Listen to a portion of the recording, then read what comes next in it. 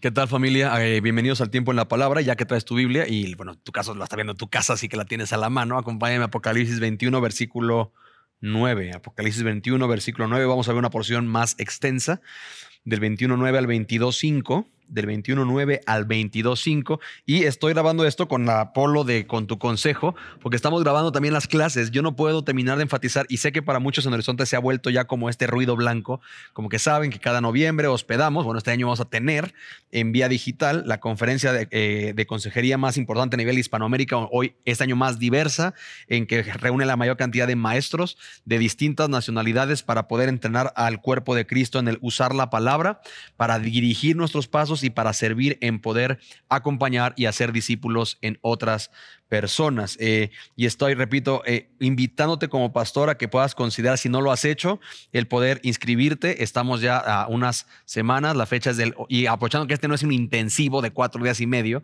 sino que va a ser del 8 de noviembre al 22 de noviembre, en 15 días, 25 sesiones para que tú puedas tomarlo a tu ritmo, en tus espacios, ¿sí? Y poder disfrutar eh, y caminar en, temas súper, súper importantes y necesarios para el alma y para poder ayudar a más personas por lo que si tú no has hecho, aprovecha eh, la oportunidad para poderlo hacer, eh, sobre todo bueno, los que están en Sebam, que tienen ahí un, precio preferencial, y el tema de, pues, ya que es tu iglesia, y sobre todo este año que estoy emocionadísimo con Sasha Méndez de Brasil, Ale, Cruz, Ale Sura de, eh, bueno, Costa Rica, pero está ahorita en Estados Unidos, eh, sumado a Eduardo Saladín, Héctor Santana, que son gente que ya han venido aquí a Horizonte a enseñar, este, eh, más Jeremy Peer de Southeastern, de Southern, perdóname, él, se ofendería así, porque yo soy Southeastern, él es Southern, este, en fin, de verdad, si hay un año en el que no te lo vas a querer perder, sobre todo por el ritmo más relajado de tomarlo, por los temas. En contuconsejo.com puedes ver incluso los temas y demás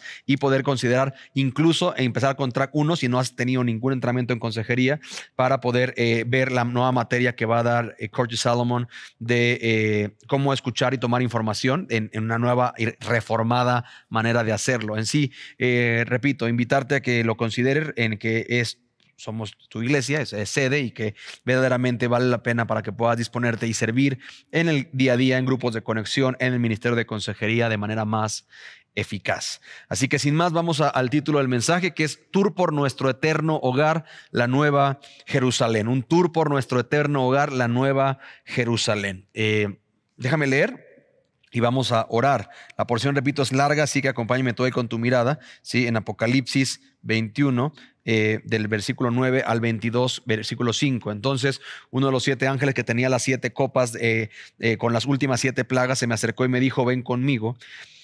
Te mostraré a la novia, la esposa del Cordero. Así que me llevó en el espíritu a una montaña grande y alta y me mostró la ciudad santa, Jerusalén, que descendía del cielo desde la presencia de Dios, resplandecía de la gloria de Dios y brillaba como una piedra preciosa, como un jaspe tan transparente como el cristal. La muralla de la ciudad era tan era alta y ancha y tenía dos, 12 puertas vigiladas por eh, 12 ángeles. Si se, los nombres de las 12 tribus de Israel estaban escritos en las puertas.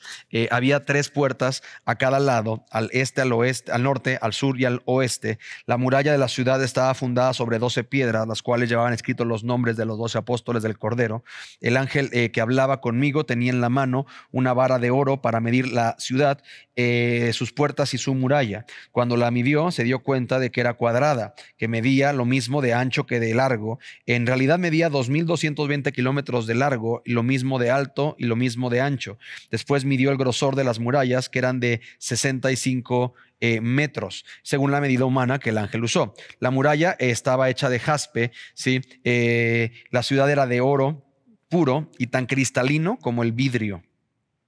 La muralla eh, de la ciudad estaba fundada eh, sobre doce piedras, eh, cada una adornada con una piedra preciosa. La primera con jaspe, la segunda con zafiro, la tercera con ágata, la cuarta con esmeralda, la quinta con ónice, la sexta con cornalina, la séptima de crisolito, la octava de berilo, la novena de topacio, la décima de crisoprasa, la undécima de jacinto y la duodécima de amatista. Los doce puertas estaban hechas de perlas, cada puerta hecha de una sola perla. Imagínate. Y la calle principal era de oro puro, tan cristalinos como el vidrio. No vi ningún templo en la ciudad, porque el Señor, Dios Todopoderoso y el Cordero son el templo. La ciudad no tiene necesidad de sol ni de luna, porque la gloria de Dios ilumina la ciudad, y el Cordero es su luz. Las naciones caminarán a la, ciudad, eh, a la luz de la ciudad, los reyes del mundo entrarán en ella con toda su gloria. Las puertas nunca se cerrarán al terminar el día, porque allí no existe la noche. Todas las naciones eh, llevarán su gloria y honor a la ciudad, y no se permitirá la entrada a ninguna cosa mala, ni tampoco a nadie que practique la idolatría y el engaño. Solo podrán entrar los que tengan su nombre escrito en el libro de la vida del Cordero. Luego, el ángel me mostró un río con el agua de la vida. Era transparente como el cristal y fluía del trono de Dios y del Cordero. Fluía por el centro de la calle principal y a cada lado del río crecía el árbol de la vida, eh, el cual produce doce cosechas de fruto, una cosecha nueva cada mes. Las hojas se usaban como medicina para sanar a las naciones. Ya no habrá más maldición sobre ninguna cosa, porque allí estará el trono de Dios y del Cordero y sus siervos lo adorarán verán su rostro y tendrán su nombre escrito en la frente. Allí no existirá la noche, no habrá necesidad de luz, ni de lámparas, ni de sol, porque el Señor Dios brillará sobre ellos, y ellos reinarán por siempre y para siempre. Entonces el ángel me dijo, todo lo que has oído y visto es verdadero y digno de confianza. El Señor Dios, que inspira a sus profetas, ha enviado a su ángel para decirle a sus siervos lo que pronto sucederá. Oramos, Señor, ayúdanos a, a verte, vivir, enamóranos y pon delante el camino y la esperanza que tenemos de esta ciudad, pero más allá de la ciudad, de con quien estaremos ahí, y eres tú. Así que sé con tu siervo en su incapacidad y en la de cada oyente para poder verdaderamente entender y concédenos tu Espíritu Santo haciendo una obra especial en este domingo. En el nombre de Cristo Jesús. Amén. Bien, ¿cómo te imaginas el cielo? Sé honesto, ¿sí? Sé honesto, ¿cómo te imaginas el cielo? ¿Haciendo qué? ¿Qué colores hay ahí? ¿Estás acaso como algunas de las pantallas, de las escenas que están pasando en pantalla, eh, con en una nubecita, con una toga blanca y una ariola y alitas y, tocando el arpa?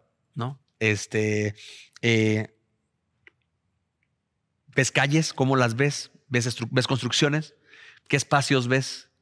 Es interesante porque es una pregunta que muchos no tenemos a bien hacer a menos que estemos cerca de un encuentro con la muerte, en el que verdaderamente, incluso un libro que no me canso de recomendarte, Cielo, del autor Randy Alcorn, eh, habla de eso y de cómo realmente, la, realidad es que muchos empiezan a hacerse esas preguntas hasta que están en una enfermedad terminal o en una cama de hospital, en el que es que sigue, porque ahorita pues puedes presupuestar, ver, idear, imaginar, eh, eh, construir, trabajar para, pero, pero cuando morimos aquí pasamos a otra economía en la que verdaderamente viene este interés de a dónde voy. Eh, si eres un hijo de Dios, vamos a ver, repito, por eso le puse el título, el tour por nuestro eterno hogar, la nueva Jerusalén, ¿sí? Eh, y para poder, así como cuando eh, hay, hay empresas ya súper importantes de construcción, que em, incluso en la, en la preventa, ellos empezando a construir te presentan tours en 3D y viajes e incluso virtuales para que puedas conocer lo que será tu casa tu departamento, tu terreno, bla, bla, bla, lo que sea. ¿sí? Bueno, Dios va a usar capítulo 21 y 22 para hacernos este tour eh, en el que Juan fue llevado ¿sí? Eh, y nos va a narrar qué es lo que ve y qué entendemos nosotros por eso y cómo afecta nuestra esperanza. ¿sí? Si pones atención, las cosas han cambiado. Las cosas han cambiado puntualmente.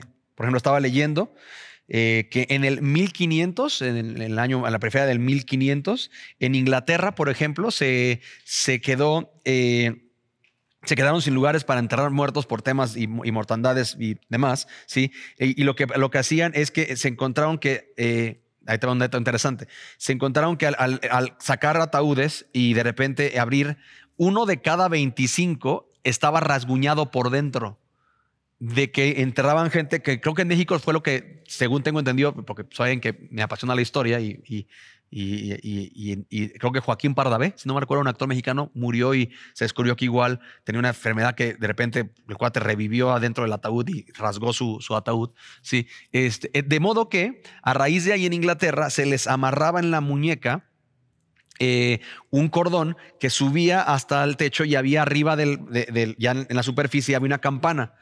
Y se contrataban veladores ¿sí? Para que, se le llamaba como el turno de para estar atento a la campana, eh, de modo que hubiera gente que pudiera ser salva por la campana, salvados por la campana. Bueno, ese término salvados por la campana viene del 1500 en Inglaterra. Sí, ahora hoy ya es otra economía. En sí, hoy este, incluso los panteones son otra economía lo que eran en el 1500.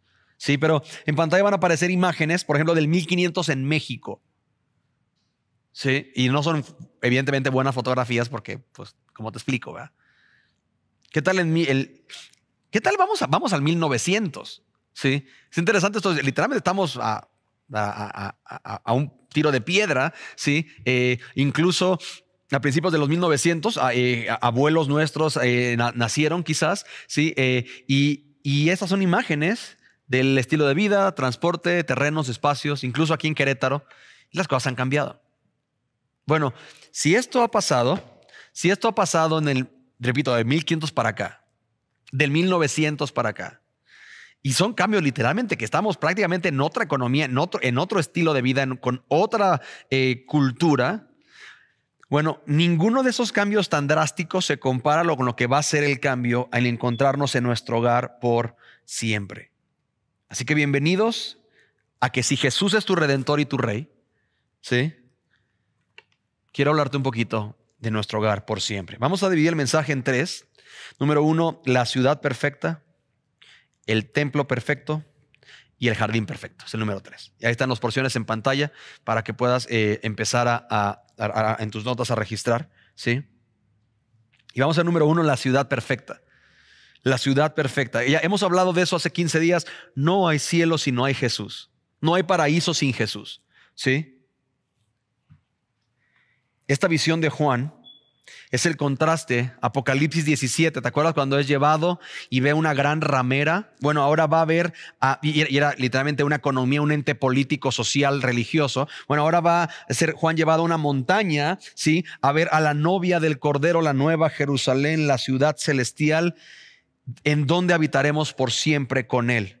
Me gusta ese elemento porque dice que viene y desciende del cielo, eh, o sea, se prepara y se revela, ¿sí? Y, hay aquí varios comentarios, ¿sí? Hay, algunos que hablan que más allá de un elemento en el, en el cielo es una conexión y, esta, y este, este punto de, conexión entre el cielo y la tierra. Eh, en sí hay, un dibujo interesante ante los que, y siempre hay gente así, siempre hay hermanos así, eh, ante el teje y maneje de las medidas, que es un cubo, ¿sí? E incluso lo colocan, si desciende, lo colocan en, en, en, en en los terrenos, ríos y demás, acorde con las eh, dimensiones hoy del planeta.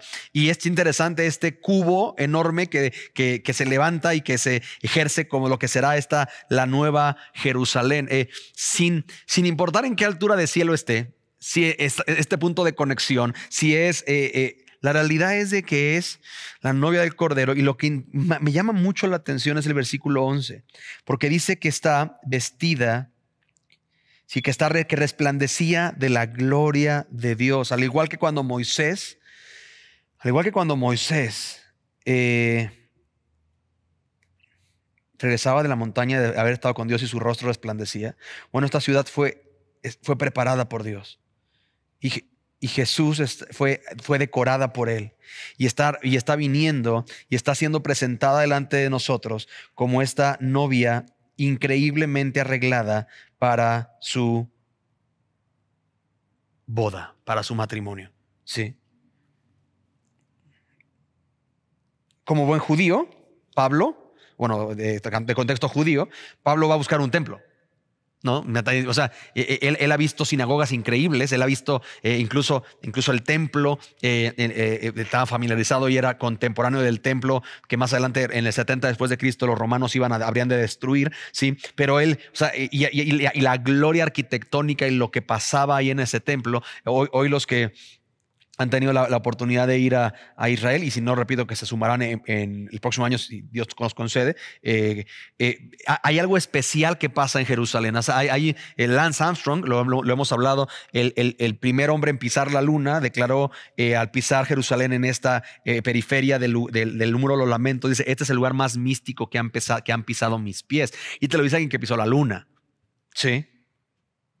Bueno, Pablo ha visto, perdón, Juan ha visto todo eso eh, Juan eh, eh, caminó, digo, no nomás interactuó, Juan vio la gloria ahí, también la gloria que vio cuando Jesús sacó los, a los tiendistas. Juan, y ahora, evidentemente, él tiene esta referencia de este templo y ahora ve esta visión y él ubica y él quiere ver cómo, que si esto es el templo para nosotros, cómo va a ser el templo allá y el nuevo templo.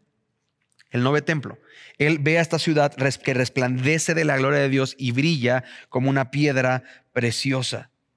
Eh, antes de Cristo, mi lugar favorito de la tierra era Las Vegas. Imagínate cómo estaba. ¿sí?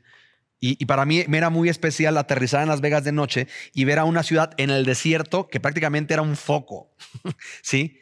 Brillaba, ¿sí? Con, con, todas las marquesinas y todas las luces y los shows, ¿sí? Bueno, eh, bueno eso no, no, se va a comparar con una ciudad verdaderamente que el versículo 6 dice resplandecía, no por la electricidad, sino de la gloria de Dios y brillaba como una piedra preciosa, como un jaspe tan transparente como el cristal. Muchos se vinculan este elemento. Acuérdate que mucho vas a ver como el cómo, como el cómo tal, cómo tal. Bueno, aquí como un jaspe, porque hay colores que tú y yo no hemos visto que vamos a ver en ese día.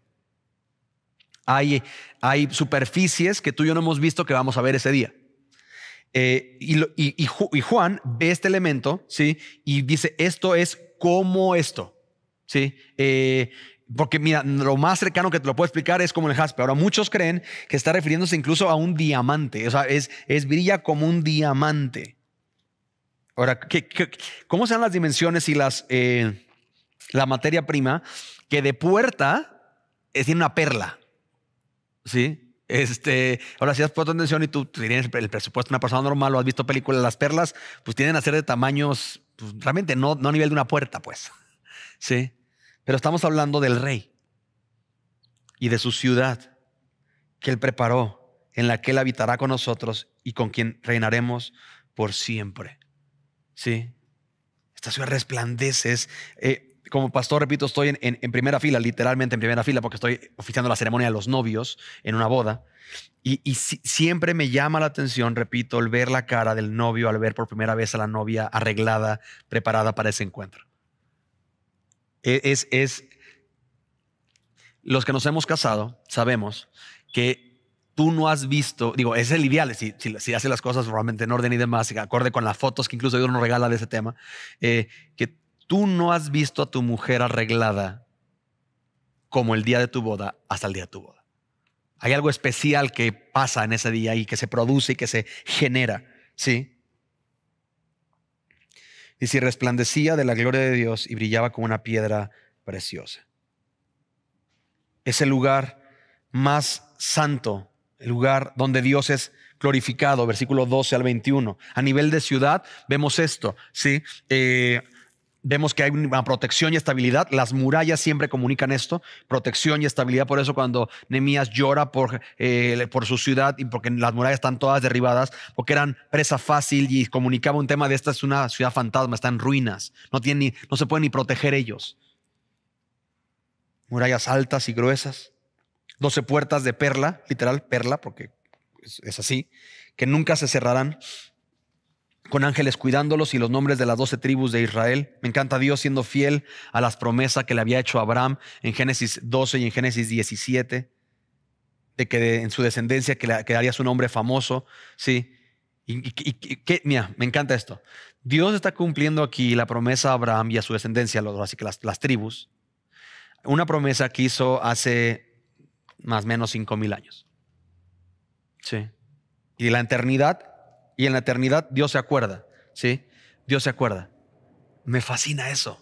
Por eso vimos la semana pasada la importancia de yo creo que Dios cumplirá lo que Él ha dicho que iba a hacer. Sí. La materia prima, me encanta, es oro, joyas, ¿sí? El, el, oro hoy activa economías. Parte del elemento con Estados Unidos, que a diferencia de muchos países que tienen un soporte en oro, eh, Estados Unidos, pero el mundo eh, normalmente tiende a ser gobernado por la economía, incluso respaldo y eh, tesoro en oro. En ese momento va a ser, va a ser, concreto. Es a lo que tú pisas, ¿sí? hoy tú pisas concreto, adoquín, azulejo, cualquier tipo de piso. Bueno, aquel día el oro será el piso. Y será el fundamento especial con, los nombres, sí, hay demás, pero dice que serán decorados con, con piedras preciosas y empieza a listar una, una importante lista, sí, en la que es bien interesante porque se, se, atribuye y es algo especial. Bueno, yo eh, tengo de, de, Israel, este, este es, como una réplica de un, del, del, del peto de sacerdotal, porque tú te lo tenías que poner y recordar que tú representas a Dios con el pueblo y al pueblo con Dios. Y, es curioso porque tiene puntuales 12 piedras, ¿sí? Eh, elementos que se conectan directamente con las piedras que van a decorar eh, los cimientos y esta ciudad eh, increíble, ¿verdad? comunicando que, eran lo que vestían los que servían y habitaban dentro del templo y, y en esta comunión y en este rol sacerdotal.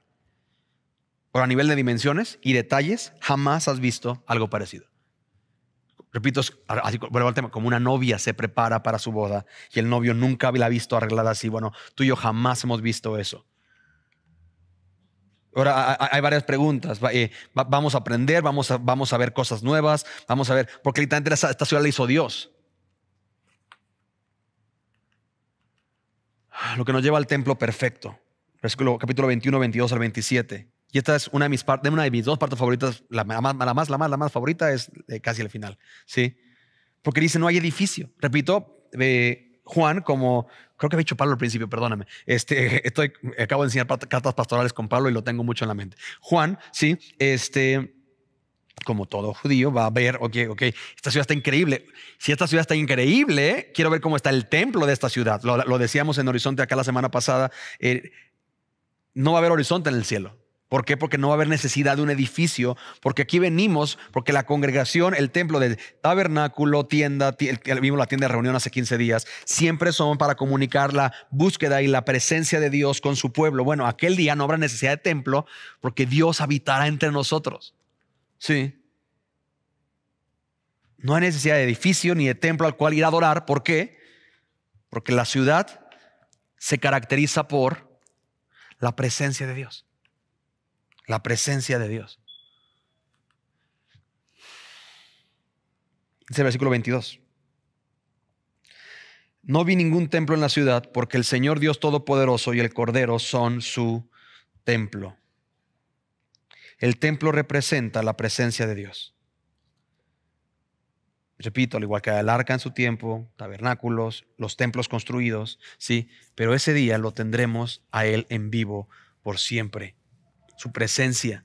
Pero te dije, sí, hace 15 días que el cielo es la continuidad de la intimidad a la que tienes acceso desde hoy con Cristo, pero sin distracciones y para siempre. Sí. E, este, esto no es algo nuevo, es algo anunciado. Es, la esperanza del, pueblo de Dios. ¿sí? Desde, desde en el Antiguo Testamento, por ejemplo, en el Antiguo Testamento, en Jeremías 32, dice, en versículo 38, y ellos serán mi pueblo, y yo seré su Dios, y les daré un solo corazón y un solo propósito, adorarme para siempre, para su propio bien y el bien de todos sus descendientes.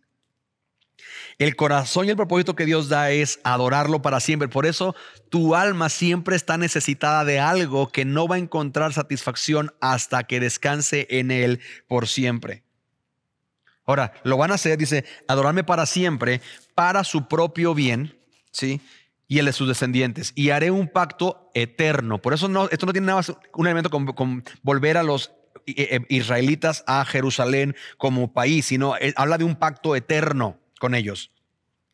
Nunca dejaré de hacerles bien.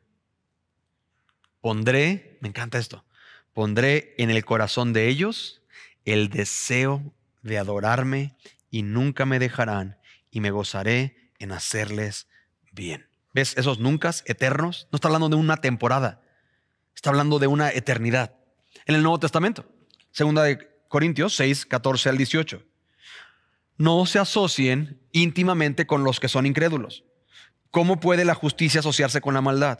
¿Cómo puede la luz vivir con las tinieblas? ¿Qué armonía puede haber entre Cristo y el diablo? ¿Cómo puede un creyente asociarse con un incrédulo? ¿Y qué clase de unión puede haber entre el templo de Dios y los ídolos? Pues nosotros somos el pueblo de Dios viviente, como dijo Dios. Escucha esto, como dijo Dios, viviré en ellos y caminaré entre ellos y yo seré su Dios y ellos serán mi pueblo.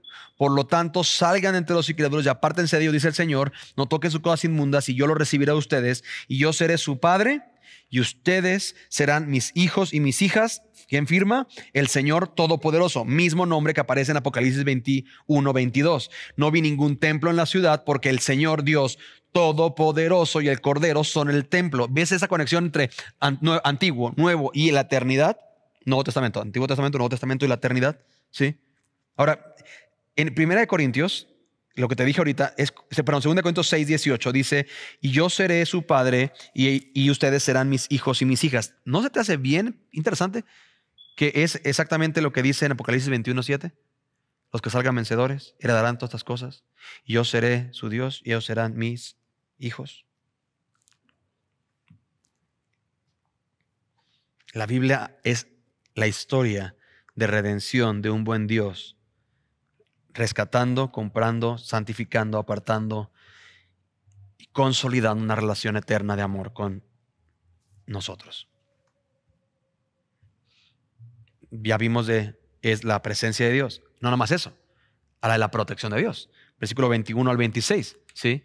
La ciudad no necesita sol ni luna, porque la gloria de Dios ilumina la ciudad y es luz y lámpara. ¿Sí? La luz del mundo será la que por fin alumbre el mundo en el que habitaremos por siempre. Juan 8:12 nos lo dijo.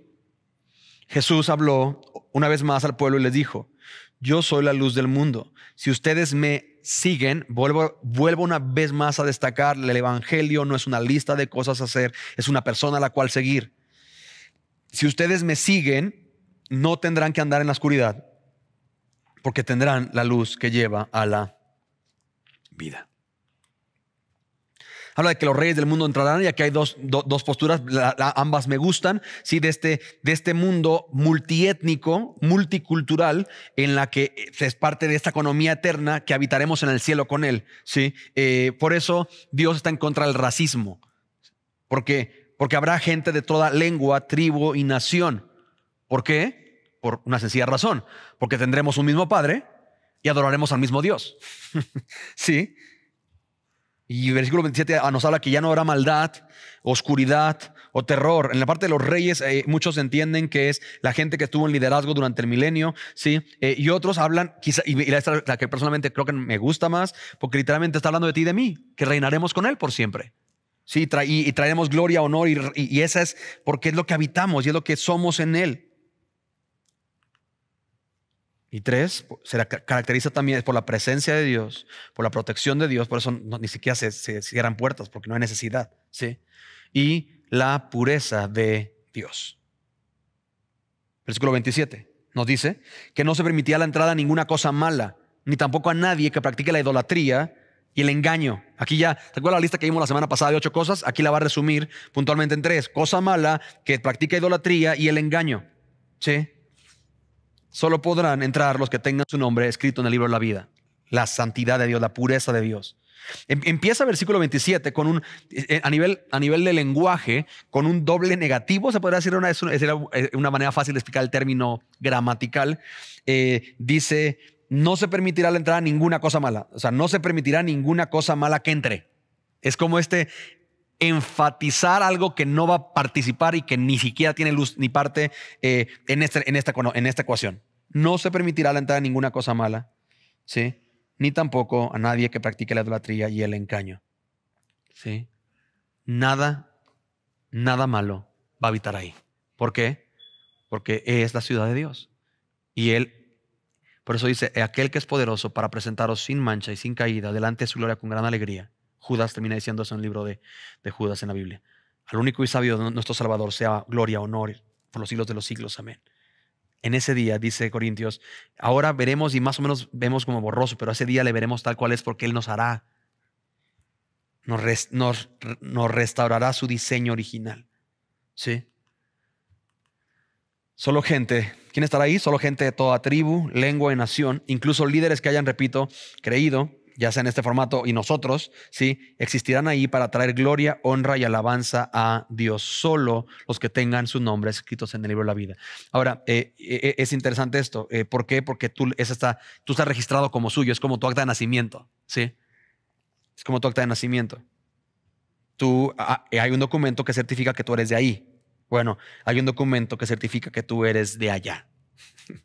¿Sí? Lo que nos da el punto del mensaje. El jardín perfecto. El jardín perfecto. Que eso está, está chistoso. Soy, si soy honesto, de capítulo 22 del 1 al 5. Porque nos va a hablar de este jardín. Y aquí, mi lugar favorito. Es interesante, ¿por qué?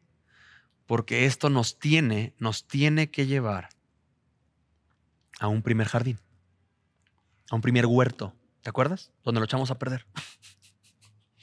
sí.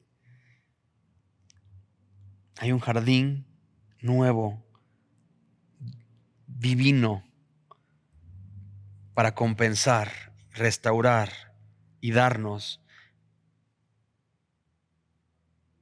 en respuesta al que nosotros echamos a perder en Génesis 3. Y, me encanta porque mi mamá era muy cuidadosa a sus jardines en Cuernavaca. Este, eh, yo la verdad que no soy tanto, eh, pero, pero, pero disfruto un buen jardín. Eh, un jardín en, la que, en el que tengas ese pasto en el que te quieres acostar, no ese pasto en el que luego lo sé que es pasto ahí raro y que hay en bichosa. Eh, un buen jardín es un lugar deleitoso a la vista, antojable. Sí, y bueno, imagínate cómo será este nuevo jardín, esta, esta, nueva ciudad jardín.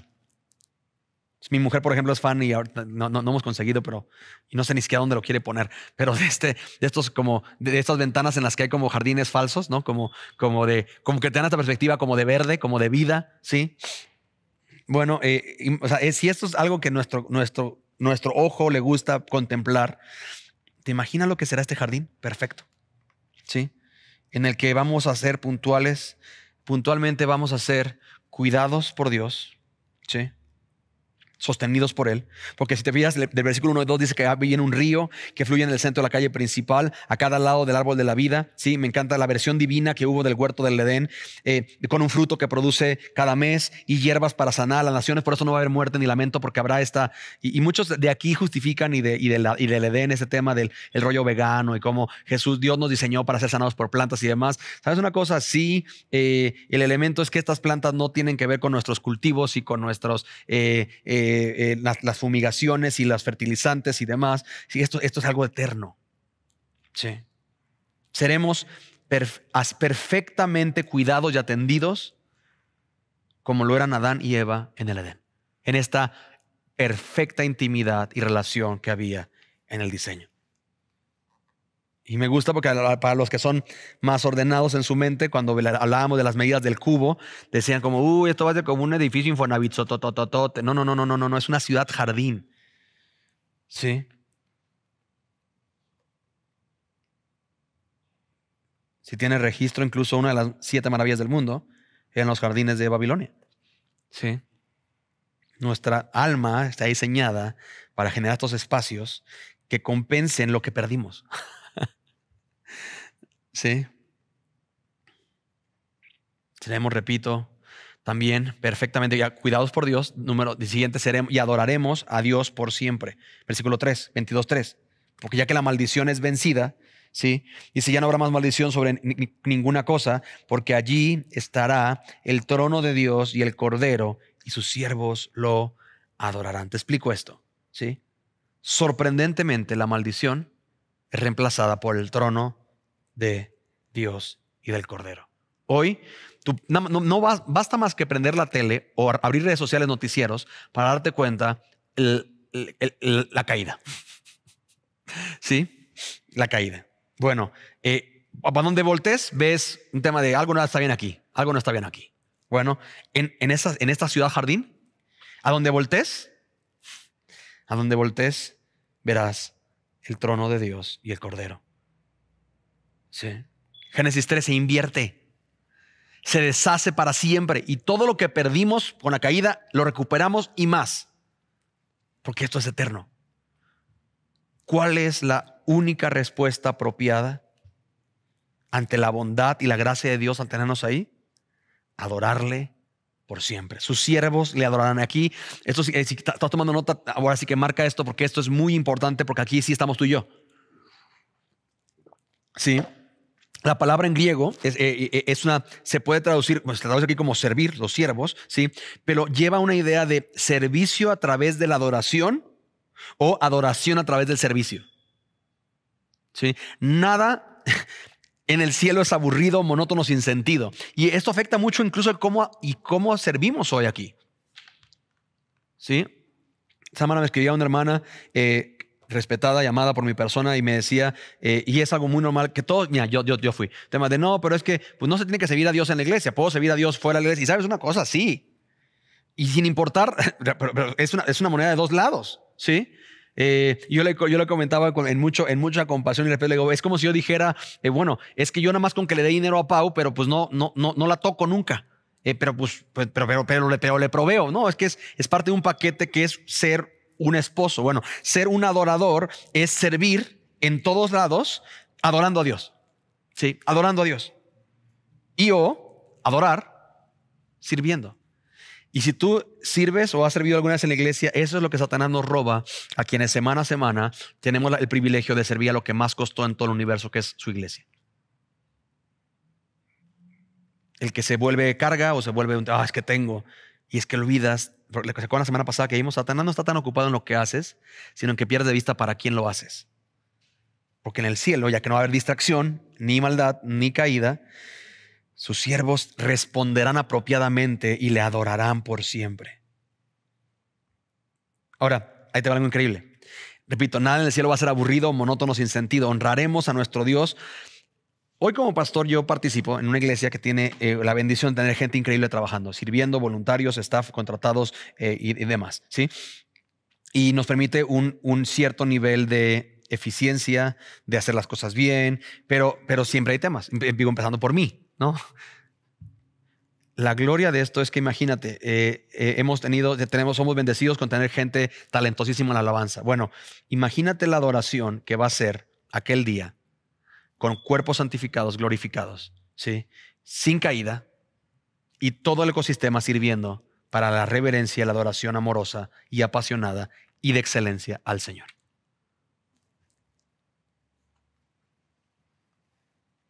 será este servicio asombroso y gozoso, que es en sí nuestro culto racional desde ya, Romanos 12.1. Preséntate a ti en sacrificio vivo, santo y agradable a Dios. Será un servicio de adoración eterno, ¿sí?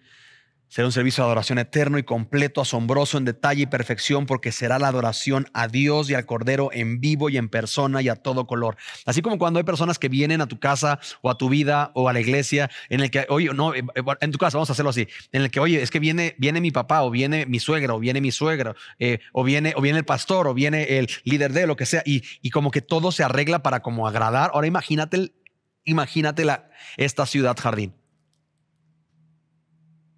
que me encanta Dios, Él se preparó a sí mismo.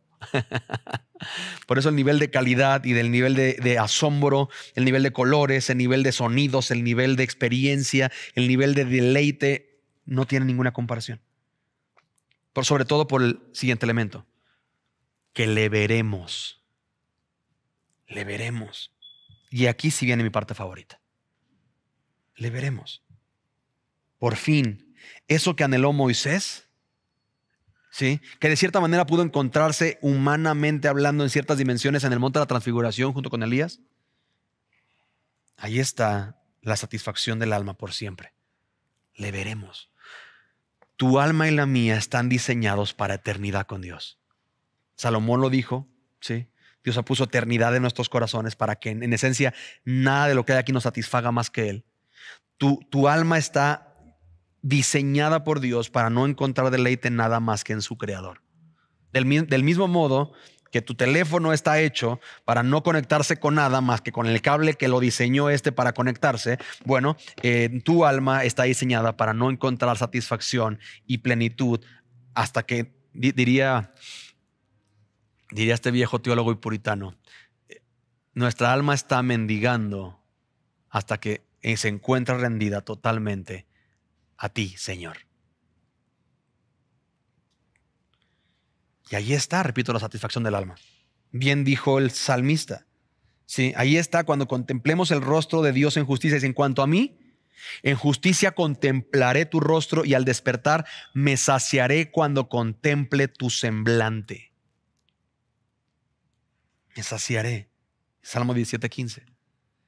¿Sabes cuándo ya no va a haber más dolor, diferencias, ataques, intrigas?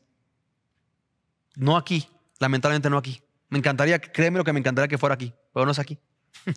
No es de este lado del sol, sino en donde ya estaremos satisfechos. ¿Por qué estaremos satisfechos? Porque ya no habrá expectativa. Dios me satisfacerá por siempre.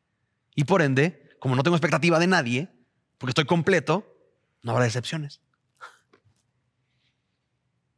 No habrá decepciones. Pero esto no pasa sin Él, sin verle, sin verle y su nombre está escrito en la frente. Eh, eh, como, si fuera un tag, una, una etiqueta, ¿sí? Comunicando que le pertenecemos, que imitamos su carácter y que viviremos seguros en su presencia. Apocalipsis 3 nos lo empezó a anunciar. Apocalipsis 3:12 dice así: A todos los que salgan vencedores, les haré columnas en el templo de mi Dios y nunca tendrán que salir de allí. Sí algo que, Dios me da regularmente en la iglesia, cuando Dios, sobre todo al final, que al menos adorando y, algo pasa, que Dios nos visita, ¿sí? Eh, y tengo que terminar, tienen que terminar la canción y tengo que orar para terminar y despedirnos eh, y tenemos que irnos de aquí. Eh, me fascina Apocalipsis 3.12 porque dice, y no tendrán que salir de allí. Por eso, es, por eso la iglesia es tan importante, porque es esta probadita del cosco de lo que será la eternidad y yo escribiré sobre ellos el nombre de mi Dios. Y ellos serán ciudadanos de la ciudad de mi Dios, de esta ciudad jardín, la nueva Jerusalén, que desciende del cielo y de mi Dios. Hmm. Yo escribiré su nombre, yo escribiré sobre ellos el nombre de mi Dios. Isaías 44 empieza a prometer, y ellos se dirán, yo le pertenezco al Señor. Y para mí esta es mi parte más, más favorita de toda esta porción. Si te soy honesto, batallé muchísimo al prepararlo porque es una porción muy grande y tiene detalles que la verdad es que estudiando me encontré, me encontré comentarios tan morbosos y tan nada que ver y, tan desviaban tanto en, en detallitos y medidas y, en, y para mí es un tema de, podría ser un cuarto de uno por uno, pero con Dios y eso sería la satisfacción de mi alma. Sí. Porque yo, porque yo ya he comprobado lo distraída que es mi alma creyendo encontrar fuera de Dios lo que nada más Él y cómo Dios es puntual en recordarme y volverme a Él y presentarme para qué me creó. Por eso la, última parte de este mensaje para mí es, la, tengo, la voy a predicar porque tengo que ser fiel, o sea, parte de mi labor es predicador y tengo que predicar y no quitarle nada a, la porción, ¿sí? Pero, pero mi elemento aquí es que para mí es secundario. Ahora, sé que, sé que es importante, no me malinterpretes, sé que es importante porque para Dios es importante, si no, no lo metería ahí, ¿sí?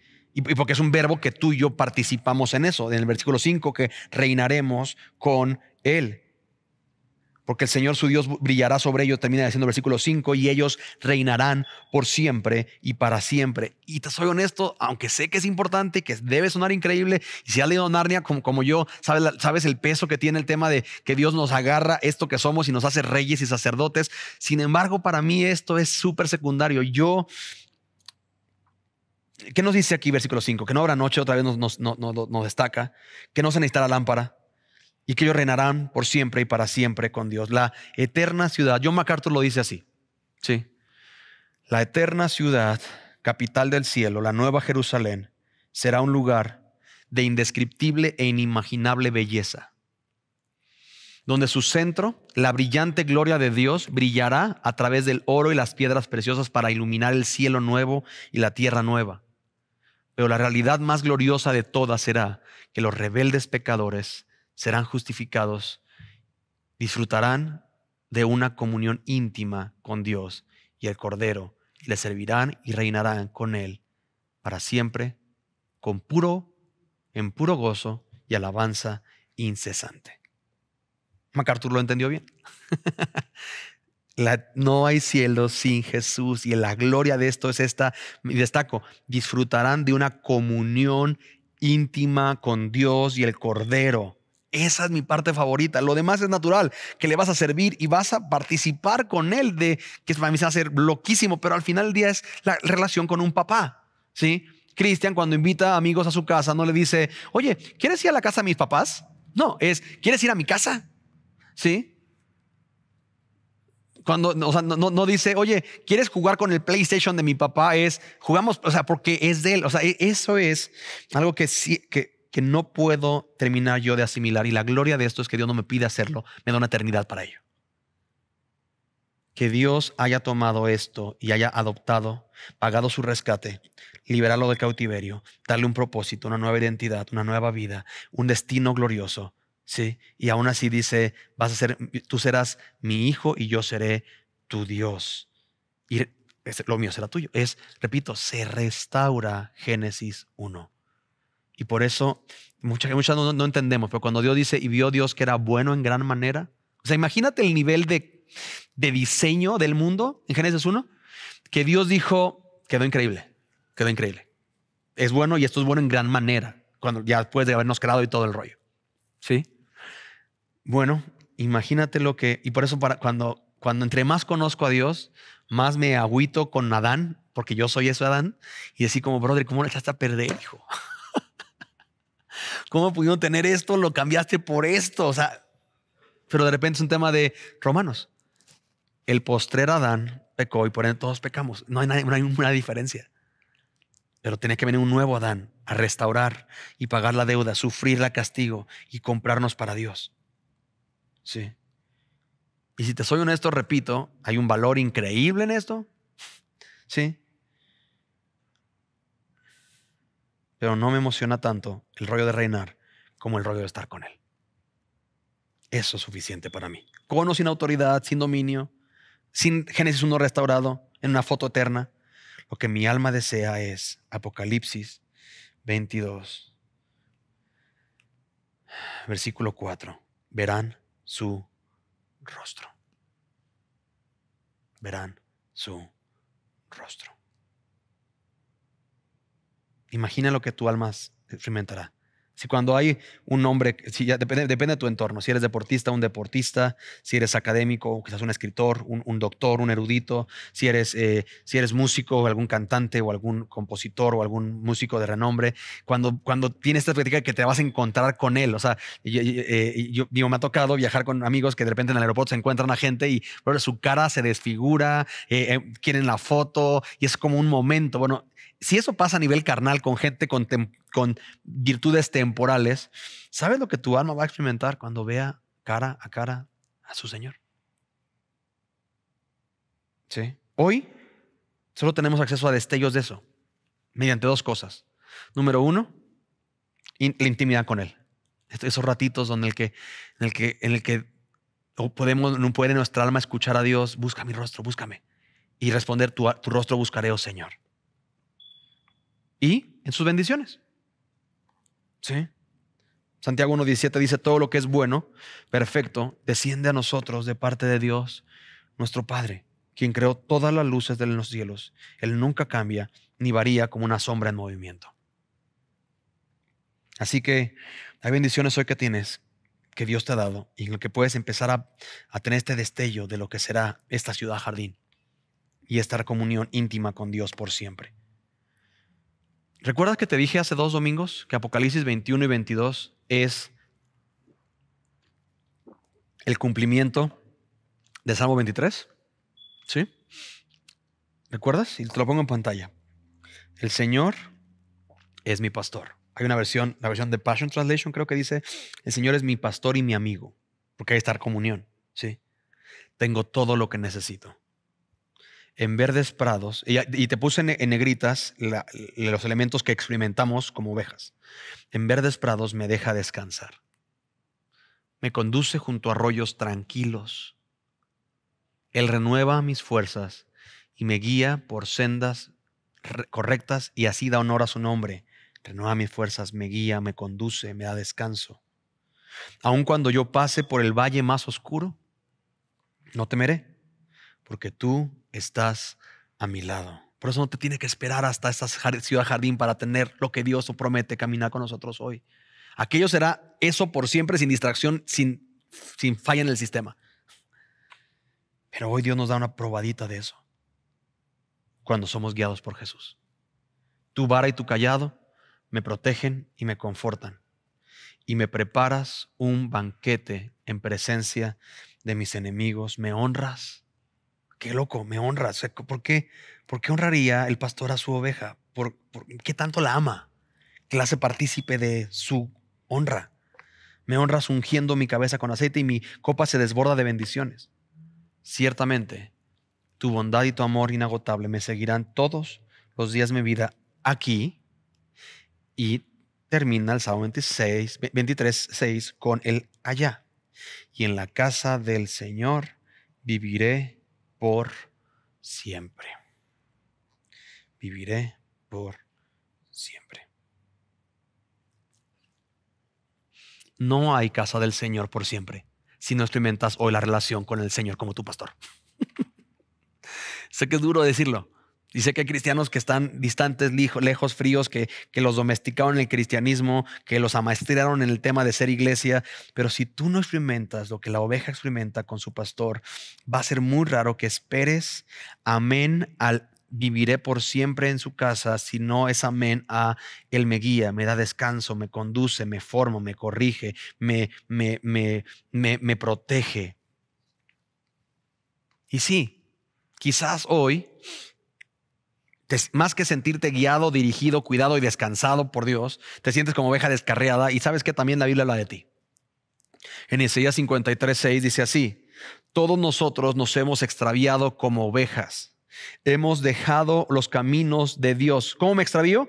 Dejo los caminos de Dios para seguir los nuestros. Por eso es normal que te sientas así. La Biblia habla de eso. Pero no te hizo Dios para eso. Sin embargo, el Señor puso sobre él, sobre Jesús, los pecados de todos nosotros. Pedro usaría esa misma conversación para decirnos en, en Primera de Pedro 2, 22 al 25, si quieres ir allá, Primera de Pedro 2, 22 al 25.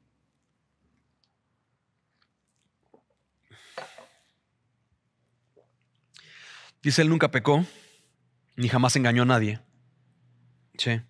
No respondía cuando lo insultaban ni amenazaba con vengarse cuando sufría. Dejaba su causa en manos de Dios, quien juzga, siempre juzga con justicia. Él mismo cargó nuestros pecados sobre su cuerpo en la cruz para que nosotros podamos estar muertos al pecado y vivir para lo que es recto. Por sus heridas son sanados. Antes, fíjate esto, versículo 25, antes eran como ovejas que andaban descarriadas. Pero ahora, por eso no, no es, ah, es que si el cielo y con Dios es cuando muera, no, ahora han vuelto a su pastor, al guardián de sus almas. ¿Quieres mantener tu alma saludable? Anda con aquel que la guarda. Vuelve a andar con Jesús. Jesús es el buen pastor, porque dio su vida para que tú puedas tener una relación viva con Él y por siempre vivir. ¿Sí? El llamado de Jesús es puntual, sígueme. Jesús habló una vez más al pueblo, en Juan 8, una vez más lo voy a poner, empezamos, irónicamente empezamos con ese texto y vamos a terminarlo con esto. Jesús habló una vez más al pueblo y le dijo, yo soy la luz del mundo si ustedes me siguen, no tendrán que andar en la oscuridad. Por eso, con temas de dejar de pecar, incluso con temas de adicciones, como de ya para el consumo y, corta eso, y es de nada sirve eso si no andas con Jesús. Jesús no dice, eh, si dejas de pecar ya no andarás en la oscuridad. No, es si andas conmigo, si me sigues, no tendrán que andar en no tendrás porque eres cautivo de eso, tienes que hacerlo. No tendrás que andar en la oscuridad porque tendrás la luz que lleva a la vida. Quiero hacer esto a nivel Wikipedia, básico. ¿sí? ¿Qué significa seguir? Bueno, Wikipedia dice lo siguiente. Significa ir detrás de una persona, porque es que la Biblia es muy complicada. Yo no entiendo eso del cristianismo. ¿Qué significa? Ok, ir detrás de una persona o cosa. Ir por un determinado camino o dirección. Acompañar con la vista a un objeto que se mueve e ir en compañía de uno digo, no sé si Wikipedia no, no puedo, digo, puedo darte el, mira, es que eso en el, en, el, en el griego lo tradujeron como y significa, y sí, habla de una relación, de incluso de un tema militar, de estar bajo la autoridad de alguien, de una comunión, de estar acompañado, pero, pero repito, o sea, para, los, para la gente nueva, el diccionario te dice qué significa seguir. Por eso la vida cristiana no es una religión, es seguir a Jesús detrás de alguien, seguir su camino, acompañarle, ir en compañía de... Me encanta. Nuestro idioma Dios lo permitió para poder comunicar y entender su verdad. Quiero terminar con esto, la red de esta semana. Recuerda, entiende, deja que cambie tu vida. Recuerda, hay una relación entre el Salmo 23.6 y Apocalipsis 21.26. No esperes, no esperes experimentar la ciudad jardín con Dios por siempre si no experimentas el descanso, la guía, la dirección, la formación, la protección, el disfrute, el estar bajo su autoridad, el ser confortado que hoy ofrece Jesús como pastor. Entiende, andar con Jesús aquí es lo que garantiza una eternidad con Él allá. Y deja que cambie tu vida. Da testimonio de dónde andas con Jesús hoy. ¿Sí? En grupo de conexión, y quizás lo esto va a ser una, una rara, pero, pero más allá de cómo, qué cambió, lo que sea, es, ok, den testimonio. Si tienen relación con Jesús, pues tú tienes algo que te dijo, que tú le dijiste, que Él te dirigió, confirmó, afirmó, corrigió, eh, eh, eh, animó, estimuló, consoló, prometió. ¿Sí? ¿En dónde estás hoy con Jesús? ¿Qué te ha dicho en su palabra? ¿Cómo le estás experimentando esta semana? ¿Estás más pegado? ¿Estás lejos? ¿Estás frío? ¿Estás distante? ¿Estás, estás alejado? ¿Dónde estás con Él? Porque mi anhelo es que grupos de conexión esta semana se vuelva, se vuelva un recordarles que grupos de conexión no es un grupo para poder nada más hablar del pecado, sino dar testimonio y animarnos unos a otros a andar con Jesús. Arrepentirse es parte de andar con Jesús. No puedes andar con Jesús si estás con un estilo de vida opuesto a Jesús. Amos 3.3. Andarán dos juntos si no anduvieran de acuerdo, pues está difícil. Pero, pero grupos de conexión en este espacio en el que hermanos y hermanas se reúnen para poder verdaderamente estimularse al amor y las buenas obras y dar testimonio de lo que Dios está haciendo con ustedes, mediante ustedes, habitar en Él, seguirle a Él. Así que déjame orar para terminar. Estamos ya por terminar nuestra serie. Eh, máximo dos domingos nos quedan. Así que eh, recuerda, vamos a transicionar al Sermón del Monte, Mateo 5, y vamos a hacerlo en NBLA. Así que puedes, puedes pedir tu Biblia NBLA para que con el precio que nos está dando la editorial puedas accederlo y eh, conectarte con nosotros. y déjame orar para poder resolver esto con el Señor y orar por ti y por mí, que Dios, Dios nos conceda una vida que haga evidente que andamos con Él por siempre, empezando ahora. Señor, gracias por tu palabra, gracias por Jesús. Gracias por llamarnos claramente a algo y no es una lista de cosas a hacer. Es primeramente a una persona a quien seguir y a tener comunión íntima. Gracias por MacArthur que lo dijo de manera increíble. La, esa ciudad tiene como gloria todo eso que está increíble, sí, pero el que habitaremos en comunión íntima contigo para siempre. Gracias por este mundo como está hoy porque nos recuerda que no somos de aquí. Así que gracias Señor por permitirnos invitarnos a vivir acorde con, como diría tu palabra, con que somos peregrinos. Y eso afecta mucho cómo vemos, lo que hacemos y a dónde nos dirigimos. Así que Rey, bendice a cada oyente con, que la, con la convicción correcta de saberse invitado por ti, el motivo apropiado para hacerlo, Señor y la fidelidad porque andamos con aquel que es fiel. Y entonces ahora valió la pena este tema, Señor. Y gracias por que mientras estoy hablando, Jesús promete que está preparándonos esta ciudad para nosotros. Qué increíble. Por eso, por eso los cristianos somos hospedadores, porque lo aprendimos de nuestro Rey Jesús. Así que, Señor, te adoramos y queremos hacerlo evidente que te amamos. Y en Cristo Jesús oramos. Amén. Te veo en la próxima semana. Dios te bendiga.